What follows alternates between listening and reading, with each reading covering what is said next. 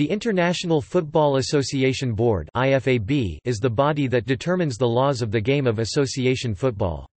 IFAB was founded in 1886 to agree standardized laws for international competition, and has since acted as the «guardian» of the internationally used laws. Since its establishment in 1904 FIFA, the sport's top governing body, has recognized IFAB's jurisdiction over the laws. IFAB is known to take a highly conservative attitude regarding changes to the laws of the game. It is a separate body from FIFA, though FIFA is represented on the board and holds 50% of the voting power. As a legacy of association football's origins in the British Isles, the other organisations represented are the governing bodies of the game in the four countries of the United Kingdom. Amendments to the laws require a three-quarter supermajority vote, meaning that FIFA's support is necessary but not sufficient for a motion to pass.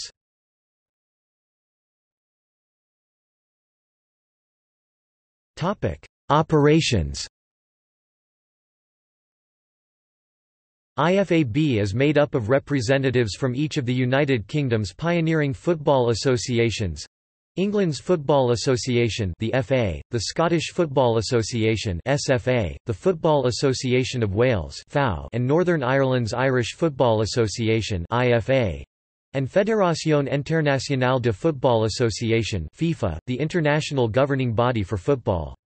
Each UK association has one vote and FIFA has four. IFAB deliberations must be approved by three-quarters of the vote, which translates to at least six votes.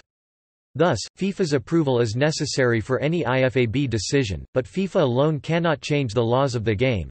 They need to be agreed by at least two of the UK members.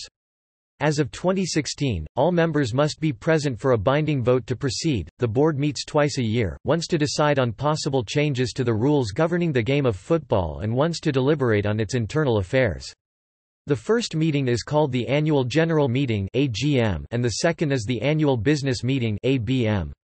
In FIFA World Cup years, the AGM is held at FIFA's offices, otherwise, it rotates between Northern Ireland, Wales, England and Scotland in that order. Four weeks before the AGM, the member associations must send their written proposals to the secretary of the host association.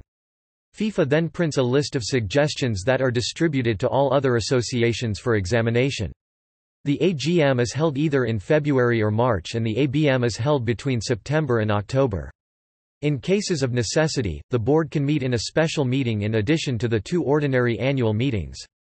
As of December 2012, the last special meeting was hosted by FIFA in Zurich on 5 July 2012. The decisions of each year's annual general meeting of the board regarding changes to the laws of the game enter into force as from 1 July and are binding on FIFA and on the other members of the board, and, given that FIFA's statutes establish that FIFA and its member associations and affiliates adhere to the laws of the game laid down by IFAB, those changes bind also FIFA's other member associations, FIFA's Continental Confederation of member associations, and the subnational entities of the national associations but confederations, member associations and other bodies whose current season has not ended by 1 July may delay the introduction of the adopted alterations to the laws of the game in their competitions until the beginning of their next season. As well as permanent changes to the laws, IFAB also authorizes trials of potential amendments.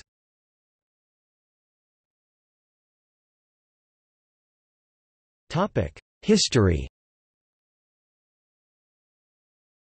Though the rules of football had largely been standardised by the early 1880s, the UK's four football associations still each had slightly different rules. This posed a problem with international matches and when matches were played, the rules of whoever was the home team were used. While this solution was workable, it was hardly ideal. To remedy this, the then football associations of England, Wales, Scotland and Ireland met on 6 December 1882 in Manchester, in order to set forth a common set of rules that could be applied to matches between the UK Football Association's national teams. The conference created the first international competition, the British Home Championship, and proposed the establishment of a permanent board to regulate the laws of the game. Therefore, the first meeting of IFAB took place at the FA's offices at Holborn Viaduct in London on Wednesday 2 June 1886. The FA, SFA, FAW and IFA each had equal voting rights.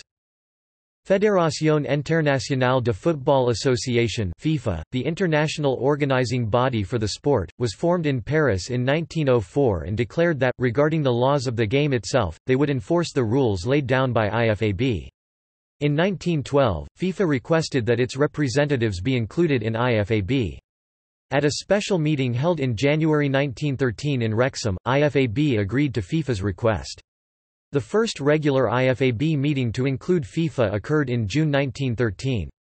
Each association including FIFA was entitled to send two representatives, with a four-fifths majority required to change the laws thus that the UK associations could still change the laws against FIFA's wishes if they all voted together.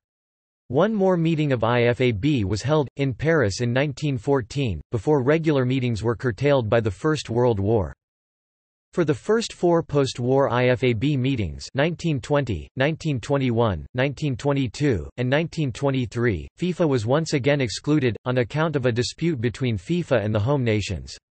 From 1924, once the dispute had been resolved, FIFA once again attended IFAB meetings. In 1958, the board agreed on its current voting system. Since Irish partition in 1921, the IFA has evolved to become the organising body for football in Northern Ireland. Football in the Republic of Ireland is now organised by the FAI, which is not represented on the IFAB.